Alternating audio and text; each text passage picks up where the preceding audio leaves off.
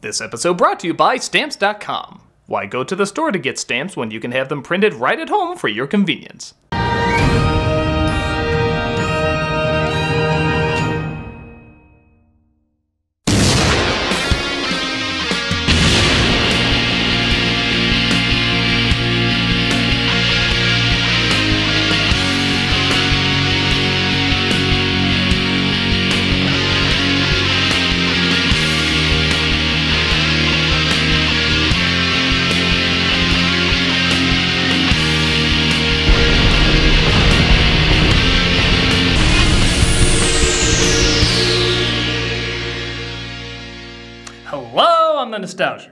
Critic guy. Remember it so you don't have to. Let's talk about Donnie Brasco. That's right, some of Johnny Depp's and Al Pacino's greatest performances. Is that a bunny? I don't I don't remember a bunny in Donnie Brasco. Oh shit, did I order Donnie Darko instead? You certainly did, and let me tell you why it's the greatest movie ever made. That's a lot of crap. Let me tell you why this is the most overhyped, pretentious bull tuckus that ever existed. Nope, I'm not doing this. What? Why not? Yeah, why not? Because Donnie Darko has two very polarizing audiences.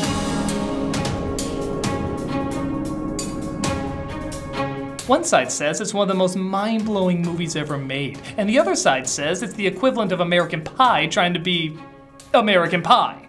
People love to talk about whether or not this is a game changer or just an excuse for artsy kids to say you just don't get it. As if we needed more excuses for that. Yeah, if I don't understand that, that means it sucks. Like that movie Eraserhead. He was never once at the end of a pencil. Yeah, that's the thing. I don't care what the fan bases say, I just want to give my own take. Really? So you dress up as fan bases in a video just to say you're not going to reference us? Ironically referencing us? I don't even know what your fan base is like. I have no idea if that's the shit you'd wear. I have no idea if that's the kind of stuff you would say. And frankly, I don't care. I know there's a lot of opinions and theories about this movie, and you're welcome to them. I'm just saying I'm gonna give my report on it, no one else's. Just seems like a lot of extra editing simply to say you don't care. You had to take time to find these clothes and change into them? Just leave me alone! Fine, I'm gonna write a million theories as to what this opening meant. Yeah, and I'm gonna punch a football. I don't know, whatever my fan base does. Let's take a look at the film that launched a million blog posts. This is Donnie Darko. The film opens with a boy knocked out having apparently tripped on his bike. Ah, the mountains of Minnesota. He gets back on and rides on home to his slow motion family. It ends with a spider and they all bang the girl. Happy reading. I know over readers are already having a field day with this, but honestly, I'm just wondering what production assistant put that Care Bear sticker there. Yeah, figure out the symbolism behind that one, artist! It's all secretly the origin to Swift-Heart Rabbit. And I'm not gonna lie, this might be one of my favorite, most random opening lines to a movie. I'm voting for Dukakis. I just want to help Jon Lovitz's career. Maybe when you have children of your own. I'm not gonna squeeze one out till I'm like 30. So you know, in a year. That's Maggie Gyllenhaal as Elizabeth and Jake Gyllenhaal as Donnie, playing the incredibly stretching roles of brother and sister. Eh, and it wouldn't be an early 2000s movie without Daveigh Chase. When can I squeeze one out? Not until eighth grade.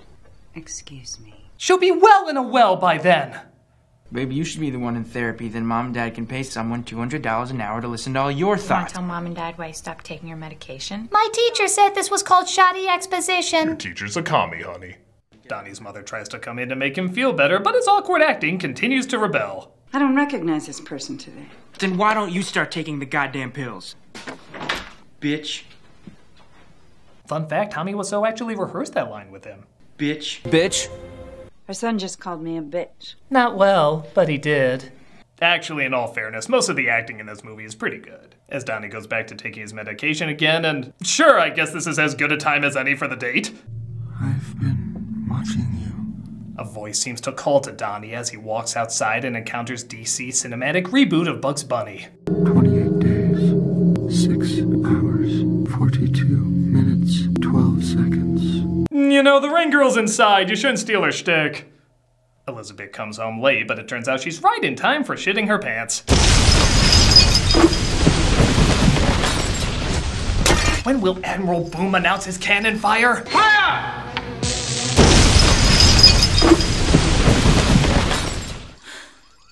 And because we're artsy, we can just stop the scene right here. Son, Son? Ben, what are you doing? Donnie wakes up on a golf course with the end of the world written on his arm.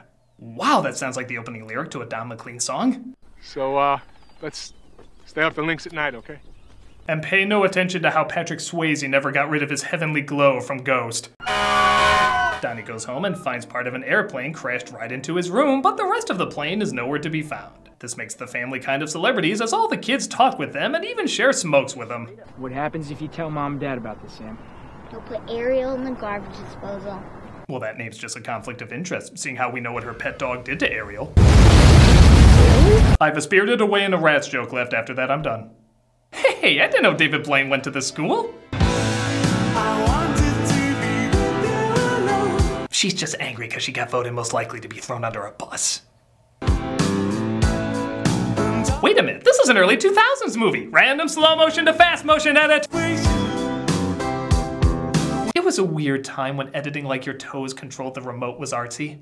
Well, here I thought Happy Death Day had the weirdest goddamn mascot, but Pug McMahon Nipples here wins this round.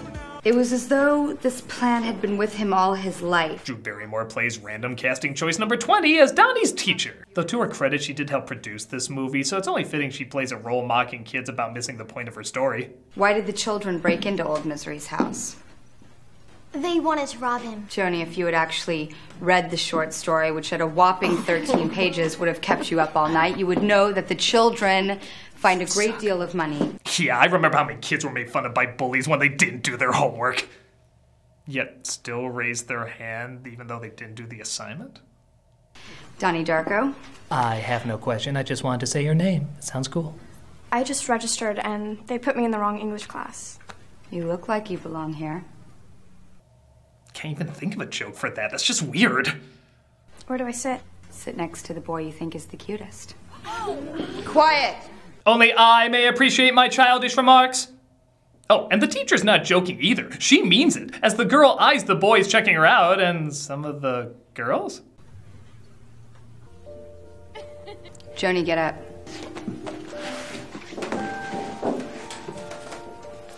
And immediately fire for her abuse of power. Oh, I mean, uh, she's edgy.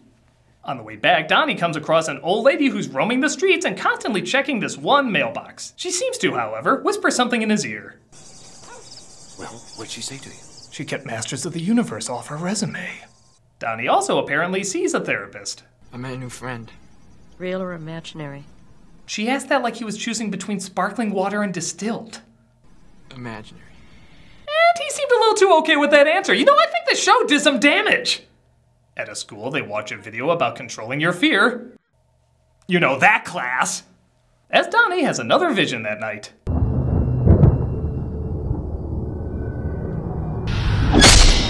Well, now we know what happens when Camille del Toro does a Nesquik commercial. My god, is this ever going to stop? The next day, it's reported that school is let out due to a busted water main and general douchebaggery. But it looks like someone's hitting on Donnie's maybe baby. Has anyone ever told you that you're sexy?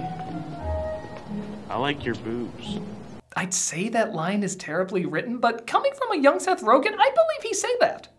Do you want to walk me home? Sure.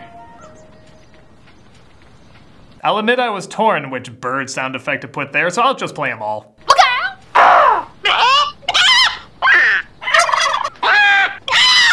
So he walks her home and they make awkward small talk. Donnie Darko. What the hell kind of name is that? It's like some sort of superhero or something. What makes you think I'm not? I read comics, I know Mysterio's the bad guy. So that's enough for relationship material as they decide to go out. Afterwards, his therapist recommends hypnosis. She asks about his imaginary rabbit friend, apparently named Frank. I- I'd like to hear about your friend Frank. Oh, he looks so much like Lola Bunny. Human tits! I love human tits! The teachers ask everyone in the school to show their penmanship to see if they can find out who graffitied and vandalized the school. Never questioning, couldn't the vandal just fake the handwriting? Donald Darko. Okay, tell me I'm not the only one who thought of this when they heard that. Donald Darko. But damn it, movie, let's get to what really matters. Smurfette fucks all the other Smurfs. Why do you think Papa Smurf made her? Papa Smurf didn't create Smurfette. Gargamel did. She was sent in as Gargamel's evil spy. Your Smurfology is light years beyond my Fraggle studies. He gets another visit from Francis Bacon's Roger Rabbit, who says he's a time traveler. But his little sister interrupts. Who are you talking to? I was just taking my pills, Sam. Whatever, can you drive me to swim class? In a pool that's filled with rats? I'm sorry, I made a promise and I panicked. Donnie returns to school where they teach everything falls into two categories fear or love. Seriously, what class is this? And big shock, some of the students think this is kind of stupid. Just place an X on the lifeline in the appropriate place. You can't just lump everything into these two categories and then just deny everything else. Be like this movie, which only has awkward and confusing. He gets in trouble for talking back to his teacher, but he still returns back to school to talk to another teacher about what is known about time travel. The teacher gives him a book that it turns out was written by that crazy lady roaming the streets. Later, the therapist asks what that woman whispered to him. Donnie, what did Roberta Sparrow say to you? She said that every living creature on Earth dies alone. Especially those who do Fortnite dance memes, they really die alone. He sits with his dad and friends watching the world's clearest 80s TV when James Cameron suddenly takes over directing.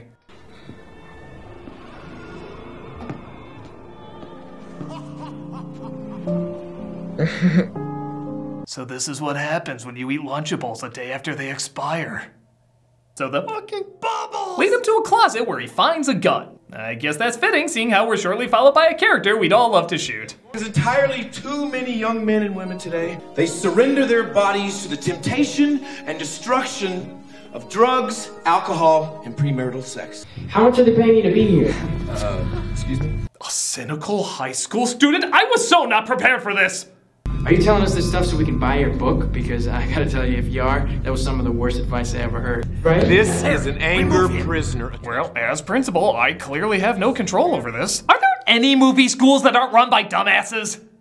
The parents are shocked, but the students cheer! Whatever this was supposed to be, as he hangs out where all media thinks young people hang out. On living room furniture outside. I've been seeing stuff. Like a lot of really messed up stuff. Before we have an actual conversation, let's cut away because no scene in this movie lasts over two minutes. Well, each vessel travels along a vector. Yeah, it's kind of like cafeteria line editing. Got what you need? Next. Got what you need? Next. Got what you need? Next. Because of this, the pacing always feels a little off. It's less like a movie and more like Mario just jumping from level to level. Except instead of going from the Mushroom Kingdom to underwater, it's philosophy class to science class. Well, if God controls time, then all time's pre-decided. He talks about the path being like traveling through God's channel, but the teacher says he has to stop talking about it. I'm not going to be able to continue this conversation. Why? I could lose my job. Oh no, tell me this is not a setup for God's Not Dead 4. If your argument's so clear, why are there so many movies about it?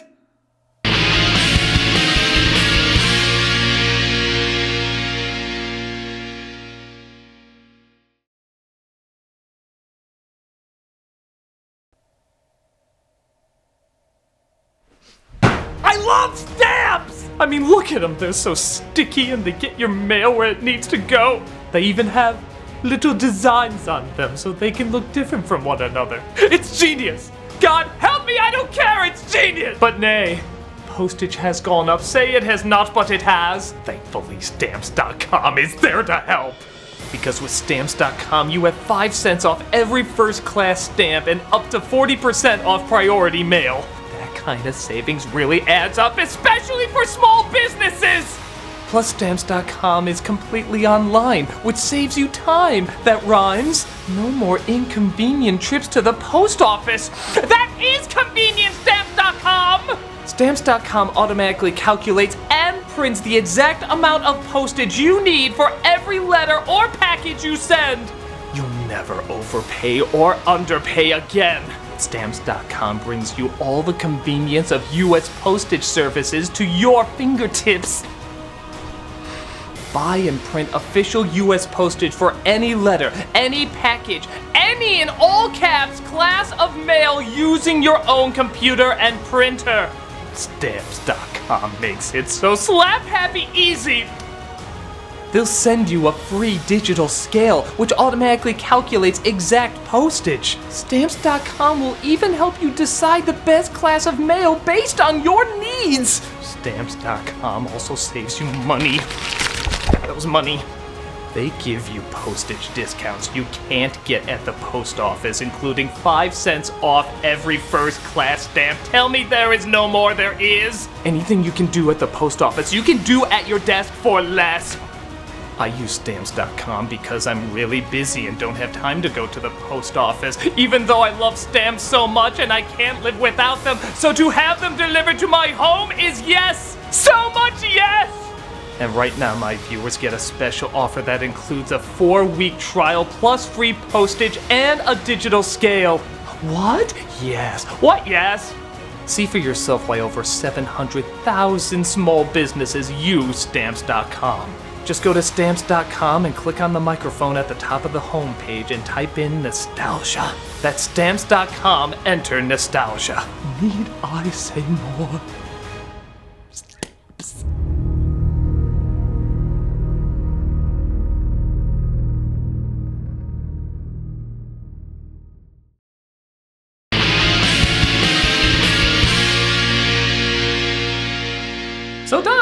A surprise, mopes around for a while until he comes up with an idea with his girlfriend for a project to sell a life-changing product. These are glasses an infant can wear while sleeping that projects peaceful images. And did you stop and think that maybe infants need darkness? That maybe darkness is part of their natural development? Boy, are you gonna like the next few decades.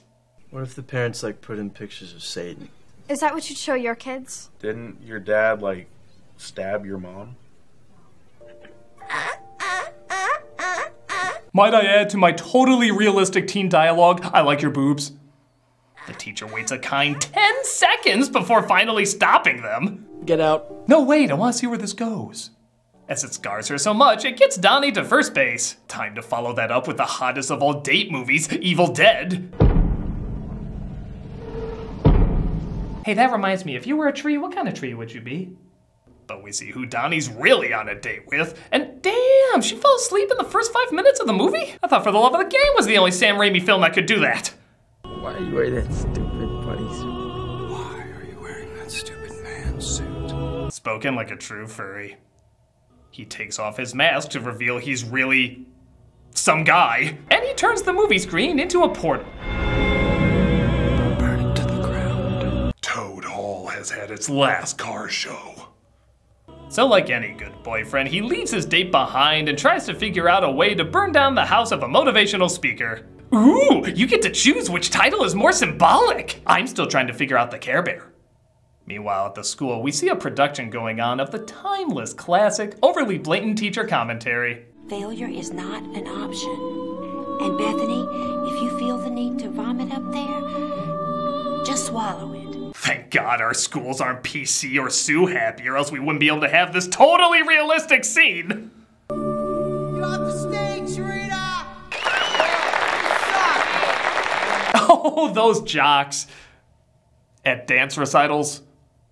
Donnie's little sister performs with her group, the Dieter Faces, as he starts burning down the speaker's home. Ooh, he has a painting of Sean Penn and Sylvester Stallone, and somehow it's the exact same picture. And oh, yeah, his girlfriend slept throughout the whole movie. Damn, those famously comfortable old theater seats! The fire reveals, though, that the speaker had a kiddie porn dungeon. And yes, those are the exact words the news anchor uses. What has been referred to as a kiddie porn dungeon. And is arrested the following day. Dad played golf with that guy. When he said his balls weren't clean, I didn't. Meanwhile, Barrymore is getting fired from her job. Probably because she's an awful teacher. We don't think the methods you've undertaken here are appropriate. What exactly about my methods do you find inappropriate? Okay, we saw two minutes of your teaching. It was like putting a fire me sign on your back. We are losing them to apathy, prescribed nonsense. They are slipping away. Why can't you just judge them on entry and force them to sit where their hormones desire? She takes the news pretty well. Ah! This is why you're fired. However, the teacher defending the pedophile can stay. Figure that one out. It's obviously some kind of conspiracy to destroy an innocent man. She asked Donnie's mother to drive the girls to the dance competition, and as one no cartoony this character is, I do admit I get a laugh out of this line. Sometimes I doubt your commitment to sparkle motion. With all the obsessing over Donnie Darko, how has this line not been turned into a bigger deal? Oh, it has. Like, a lot. I apologize, Internet. I should not have doubted you on this. Meanwhile, Barrymore exits her job gracefully. Nice. While Donnie, I guess, tries to do something kind. I promise that one day everything's gonna be better for you. Shut up! Well, that was unexpected. Totally justified, but unexpected. He undergoes hypnosis again and admits to burning down the speaker's house and also admitting that the bunny told him to do it. How could I say that sentence without this being a comedy? I can see it right now! What, he turned into a California raisin there? What was up with the stop motion movement? Uh, human tits! With their parents out of town, Donnie and Elizabeth throw a Halloween party, but Donnie's girlfriend shows up saying her mom's gone. You call the cops? Yeah, they said I should leave the house and that I should go to a safe place. Don't listen to her, man. She fell asleep during Evil Dead. She is not to be trusted! I guess some people are just born with tragedy in their blood. Okay, the proper reaction to have being kissed on that line is the same Jenna Fischer had in Blades of Glory. But his Donnie sense is going wild as Liquidator Schlong leads the way once more.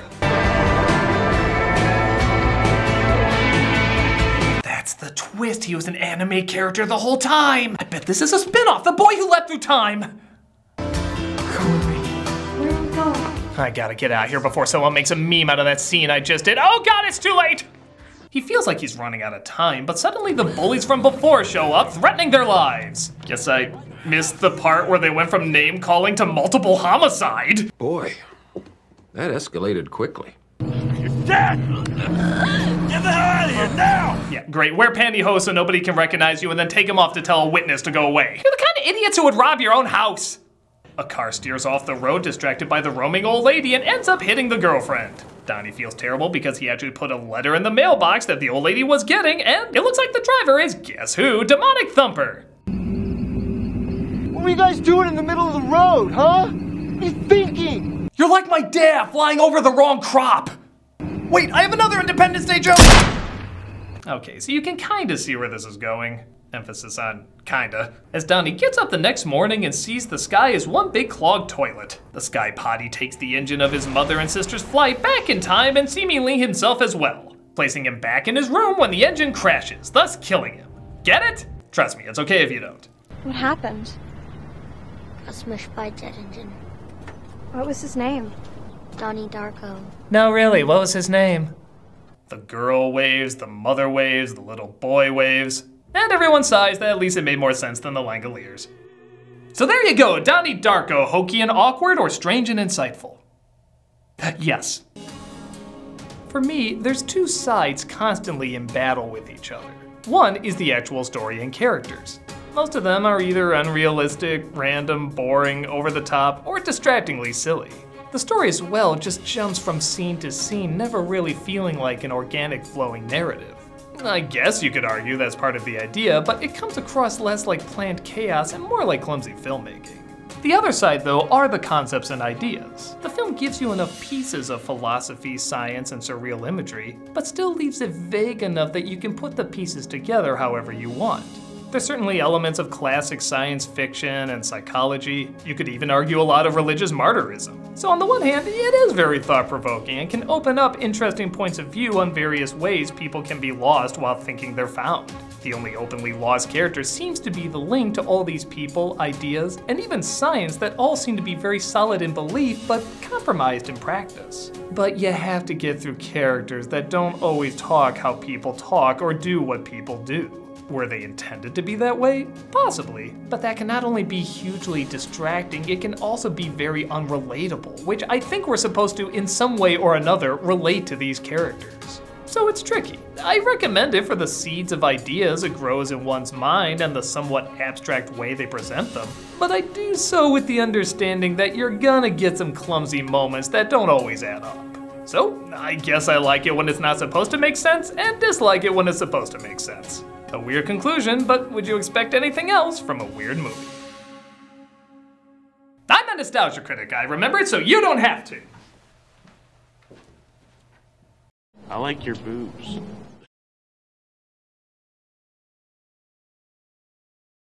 Hey, Doug Walker here doing the charity shout out, and this week we are doing the Hearing Health Foundation.